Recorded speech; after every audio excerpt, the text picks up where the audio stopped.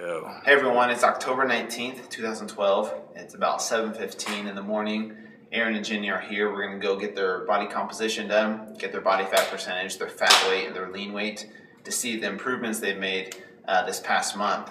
So let's go in really quick and see where they're at.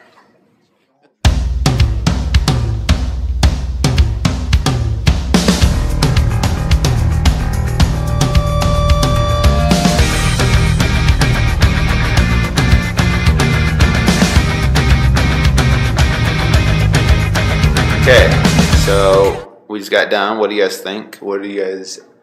It's pretty good. Um, you know, we're going down on the right numbers. Uh, and losing some body fat percentage as well as uh, some fat weight, which is, you know, what the point of doing this.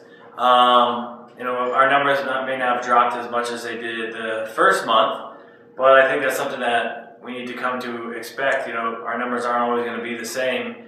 And as long as we're going in the right direction, I think that's uh, what we want to be doing.